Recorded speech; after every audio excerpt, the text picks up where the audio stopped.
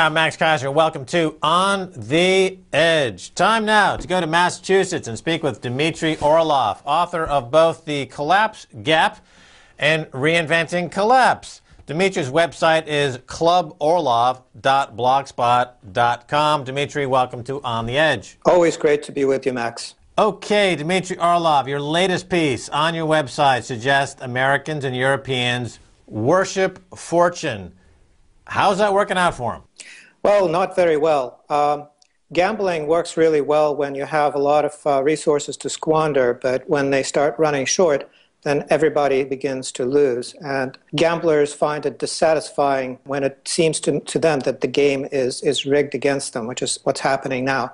They don't know what else to do, though. If you look at what people are doing with their retirement savings, for instance, they're still gambling, and um, they're not going to stop until they run out of money or until their mindset changes. And I'm not even sure which will happen first. Okay, now, Dmitry, in your essay, Collapse Gap, you compare the collapse of the Soviet Union and the collapse of the United States. Uh, you make some comparisons there that they both overspended on military hardware, uh, but there's a gap between the collapse uh, that the U.S. is now collapsing, uh, as uh, the Soviet Union has already collapsed. But in the U.S., of course, the model has been to take on more units of, of debt to produce a unit of GDP. So 20 years ago, they took on one unit of debt to create two units of GDP. Uh, now, or um, now they have to take on five or six units of debt to to create the same GDP. In in, in the Soviet Union, however, it wasn't debt fueled per se, was it? Or have I got is that a, not a fair statement? Well, at the very end, it really uh, hinged on the ability to uh, to borrow from the West. In, in, in the last stages, when basically when the Soviet system was basically in agony, um, Gorbachev was trying to uh, um, get Helmut Kohl to intercede with the Americans to get some money from the Americans to keep the Kremlin running. Um, it was down to that. Okay, so can we make a comparison then with the United States is begging China for credit to keep its empire going? I think that it's going to be a, a much bigger crack up in case of the United States, where the entire system fails, whereas the Soviet Union was really uh, looking at the financial global financial system was in one corner. It, it may be similar in a sense, though, because um, at some point the United States will lose access to imports, will be unable to finance imports, and that will be quite similar to what happened to the Soviet Union. Now, uh, again, with the Soviet Union and U.S. comparison, uh, you mentioned the word gulag, and you immediately think of Stalinism or Soviet Union and Russian gulags, but in fact, the United States now has the biggest prison population in the world and combine that with the presence of food stamps instead of real jobs, and you end up with a bit of a gulag there, probably the biggest in the history of the world. Is this also part of the collapse gap, is the proliferation, if you will, of this gulag mentality? Well, I, I think that uh, the, the American government right now is, is uh, very paranoid and becoming more paranoid every day. So um, and, and it dovetails very nicely into their penchant for sm- spending as much money on security as possible. So it's a self perpetuating, self feeding thing. But it's a surveillance state, it's a police society.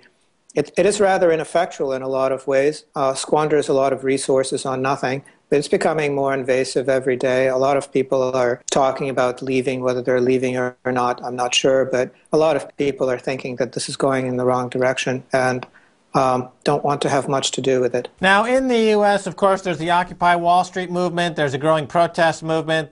Uh, there's uh, bushfires of protest all across the country for different reasons. You had uh, almost a coup d'etat in the state of Wisconsin after a Republican governor threw that election.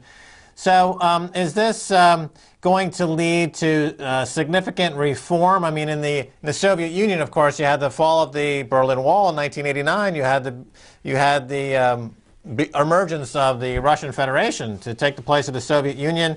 Is something similar possible in the United States under the collapse gap timeline and scenario? All of these pro- protest movements that are erupting around the planet, not just the United States, are a sign of the times, I suppose. The entire planet is on the verge of a nervous breakdown this year.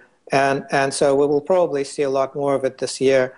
Now, in terms of what it will result in in terms of uh, positive political change, I'm not so sure. It's very hard to see how the situation in the United States will devolve. You see, the Soviet Union was made up of various republics, various countries that uh, went their separate ways, had their own histories, and, and um, once they were free of the Soviet Union, they forged a new future for themselves as separate nations. The United States is basically a bunch of uh, little mini me states. Each state is uh, a miniature replica of Washington in terms of its, its legal structures, in terms of its governance.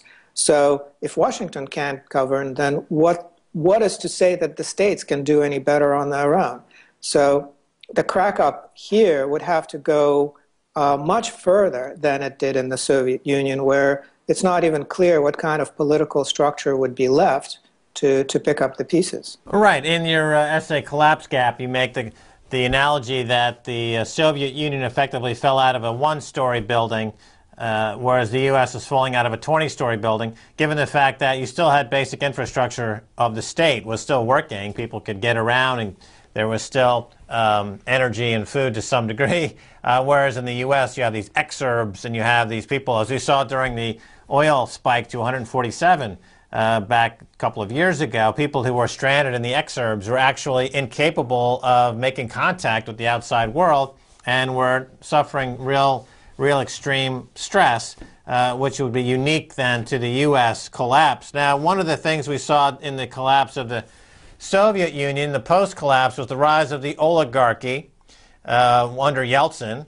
Uh, and this oligarchy is still very much um, you know, and doing powerful things. In the U.S., it seems as though there's an emergence of, a, of an oligarchy as well. I'm thinking of, for example, uh, the uh, Facebook going public. Here you have a 27-year-old kid, Mark Zuckerberg, worth $30 billion. Uh, he's a bit of a test tube oligarch, sprung from the loins of the technocrats. But uh, aside from a few odd oligarchs, the overall playing field, overall economy seems pretty stark. Your thoughts? I think Zuckerberg is a special case, and, and it's, uh, it's something that shows you what the American economy has become. If the mo- most highly valued asset right now and among the, the new IPOs is, is basically a, a time waster, which is what Facebook is. It's just something that does what people normally do face to face, puts it on the internet, and wastes a lot of time in addition. But um, I think that countries around the world, the United States and Russia included, have a kleptocracy problem. The Russians are right now battling their own kleptocrats. That's the thing that they don't like most about Putin. Uh, that's why there are lots of people demonstrating in minus 20 degrees Celsius weather uh, in Moscow and in St. Petersburg, because they don't like all of this robbery. And I think that these uh, kleptocrats have made a, a, a really bad decision. They, are long paper.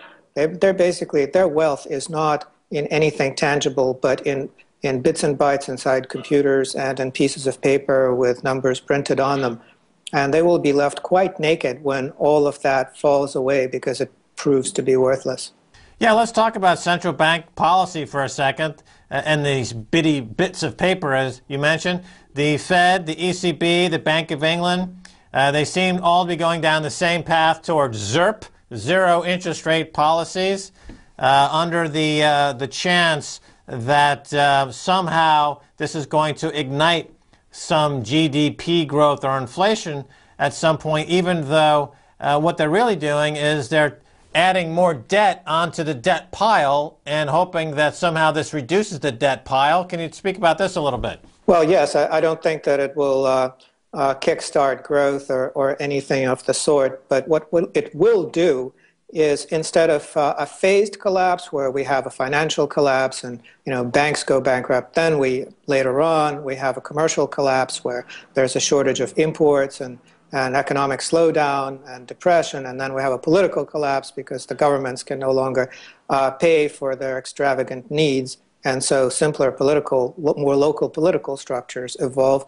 We're not going to go down this uh, kind of graded slope, we're going to go down a cliff, and all of these collapses will coincide because the system has been rigged to perpetuate the financial system at the expense of everything else for as long as possible. Now, um, of course, people, when they compare Soviet Union to the United States, the term price fixing comes up. In, in the um, Soviet Union, the price of cars or what have you was fixed, and this was uh, controlled by the state, and this was supposed to create some egalitarian um, industrial uh, harmony. Uh, but we know that that doesn't work. Uh, in the U.S., however, you do find something very insidious over there at the Federal Reserve Bank, similarly in the price fixing arena. Can you talk about it a little bit, Dmitry Orlov? I'm not sure whether uh, there's really um, you know, grounds for comparison uh, because in, you know, in the Soviet Union, the, the system was egalitarian because uh, the living arrangement was more or less identical no matter who you were. Um, you still lived in an apartment, you still took public transportation, your children still went to a public school. There weren't any distinctions of that sort uh, based on money. In fact, the, the, money couldn't really be spent in any particularly useful ways. Uh, what we have here is a system where there's everybody else and then a few people at the top who play by a completely separate set of rules. I wouldn't call that price fixing. I would call that fixing the whole system. Well, the price fixing I'm referring to here would be at the Federal Reserve level. They, they fix the price of interest rates. Instead of letting the free market decide the price of interest rates, they have fixed prices, and they are operating as a Politburo, the Federal Open Market Committee, and they are ignoring the tenets of free market capitalism, much to their detriment, because obviously there's no growth, there's no meaningful output, and wages and income are still collapsing. Uh, so um, this is, I think, analogous to what we've seen in dictatorships in the past. We have a monetary dictatorship. Uh, let's let's let me ask you about the uh, military uh, in both countries. Of course, um, what you see in the U.S., the military spend is just seemingly increasing. You've got wars in Afghanistan. You just came out of Iraq. There was an invasion of Libya. Now there's a war mongering going on in Iran. Is this sustainable, Dimitri? Well, it's sustainable for the immediate future, but the thing that needs to be understood is, is that um, this uh, military system doesn't actually achieve any objectives. Making uh, Iraq aligned with Iran and Syria was not particularly an objective. Um, making, making it possible for the Taliban to return to power in Afghanistan, which they're about to do, was not an objective. In fact, this military hasn't actually met any objectives in terms of securing the peace since in a significant way since about World War II, not in Korea, not in Vietnam. Um, so it's really just a, a gigantic money waster. Uh, the congressmen can't force themselves to, to vote against anything military. Um, and uh, the conflicts are just basically there to, to justify the existence of the military as opposed to uh, protect national security or anything of the sort. So it'll lumber along and eventually run out of money. And America's enemies, if, if any exist as such, are very happy to just basically hang back and, and let the United States destroy itself by spending money on the military. Right. Well, the, uh, it seems uh, the, the methodology of the Wall Street bankers is embraced by all, and they definitely have a, a suicidal bent. So this has permeated the culture uh, at large. Uh, so this is uh, uh, all about resources, of course, and um, the U.S. now. You're in Massachusetts. Uh, you know we've gone through these resource wars. the U.S. is claiming that it's now energy independent due to the fracking and the natural gas that it's finding. What are your thoughts on this? Is this true? Is America now energy independent? No, fracking is a financial play. all of these companies have been uh, producing at a loss given, given the prices right now. Um, if the prices were at a level that would make them profitable, the economy would collapse. And furthermore, the reserves, the Shale reserves, have been steadily downgraded because the initial assessments were ridiculously inflated.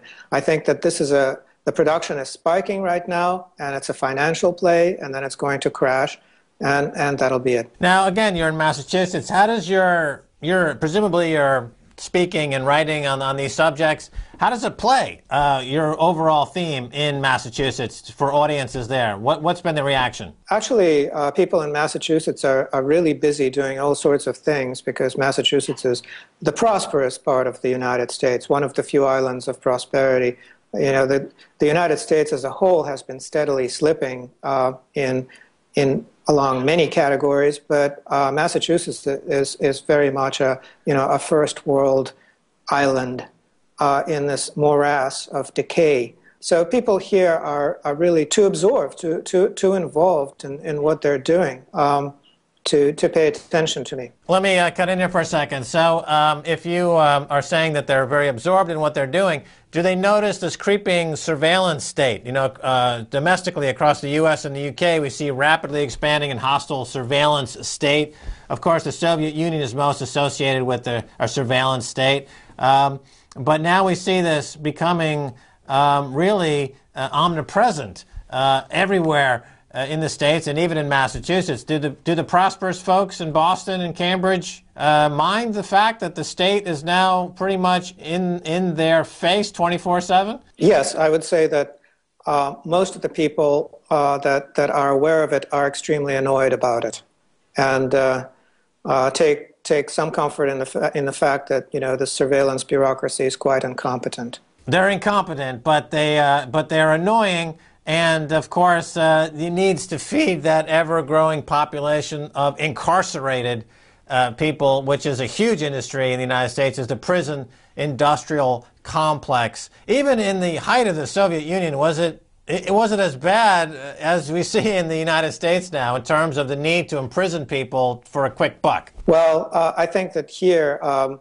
the the prison industrial complex is is really part of uh, race and class warfare. If you look at the composition of, of, of the inmates uh, in Russia, uh, the, the, the, the, prisoners were, um, um, the prison population was a, a, little bit more egalitarian and representative um, of, of society as a whole.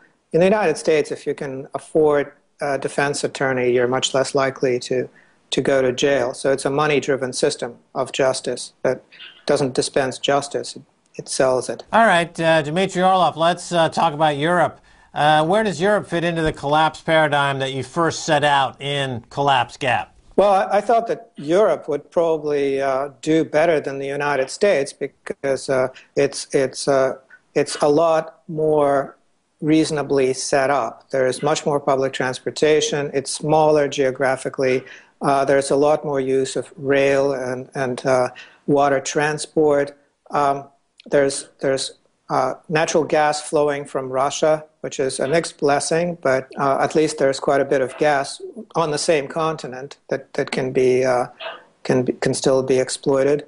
And these are historical nations that have gone through hard times before. Uh, they have gone through uh, many wrenching changes before, whereas the United States is this synthetic entity that was uh, put together in a way that, that isn't going to last with all of these suburbs and all of these highways. And uh, it cannot really function without a lot of economic growth because if it's not growing, it's decaying. So that's what we're seeing now. And once that decay runs its course, it's not even clear what's going to be left here. Um, all right, so give us uh, an overview of where we are on the timeline. You laid out the collapse gap scenario. And we have pretty much stuck to the scenario as you set that out a few years ago. Uh, we're saying pretty much as you predicted things uh, devolve and collapse uh, in the U.S. and around the world. So where are we on the timeline? What are the what are the uh, short-term uh, objectives or goals that we should look for, and some of the medium-term things that will happen? Well, the essay that I wrote in February of 2008, "The Five Stages of Collapse," is still being read a lot. Although I've I've um, I've, I've published a, a, a, slight correction. I thought that the stages of collapse would be spaced in time. So you'd have financial collapse, and then you ha- you'd have commercial collapse, and then you'd have political collapse. But thanks to the manipulation of the financial markets, it's now going to be a pileup. They will all three occur at the same time. Well, what do you, on that score, uh, I, I noted with interest that in the Chicago futures markets, they will begin to trade politicians like pork bellies on a new prediction market, political futures market. So they're taking the, the worst of the political arena and the worst of Wall Street and combining them into one way for speculators to manipulate markets and throw elections simultaneously. Is this kind of what you're talking about? Well, I, you know, I think that's brilliant, and you know, uh, there's there is a lot of hypocrisy, and this is uh, reducing the amount of hypocrisy. Uh, everybody knows that uh, pol- the politicians here are for sale. Um, and, and they sell themselves all the time. That's pretty much all they do all day. So uh, having a little bit of transparency to how politicians are bought and sold isn't a bad development. Okay, so in 2012, then, uh, you're looking for a pileup, uh, not so much a distinction between the five stages of collapse. Um, according to the Obama administration and the Democrats in the United States, there's a quote unquote recovery going on, and the employment number is rosy. NASDAQ is at a 10 year high. The IPO market is hot. Um, is this a uh, sustainable? I would take it you believe this is um, not sustainable. Uh, so, what will bring in the the uh, resume to the to the trend here? What what are your thoughts, Dimitri? Well, if if the if the economy consists of uh, selling time wasters and and and nothing else, then uh, may, there may still be a healthy market in time wasters like Facebook and various other toys. Uh, the real economy that uh, feeds, clothes, and, and houses people is, is decaying, and all of the infrastructure around us is decaying, not improving. The welfare of people is not improving. So you really have to use your imagination a lot to, to think that there's a rosy scenario going on here. So, uh, in the decaying infrastructure, would you include the big banks in that? No, because banks are, are basically you know these fictional things that that uh, just basically have paper and and bytes in a computer. Um, and uh, I'm talking more about uh, things that are a little bit more physical, like the quality of the food that people eat, like um, the sense of insecurity that they have because uh, they don't know where their next paycheck is going to be coming from things like that. All right, Dmitry Orlov, thanks for being on the edge. We'll have you on uh, soon again to check into the collapse gap timeline. So far, you've been right on the money. Thanks for being on the edge. Thank you, Max. And that's going to do it for this edition of On the Edge with me, Max Keiser, and my guest, Dmitry Orlov. You can find Dmitry Orlov at cluborlov.blogspot.com. You can send me an email at ontheedge at presstv.com. Until next time, Max Keiser saying bye, y'all.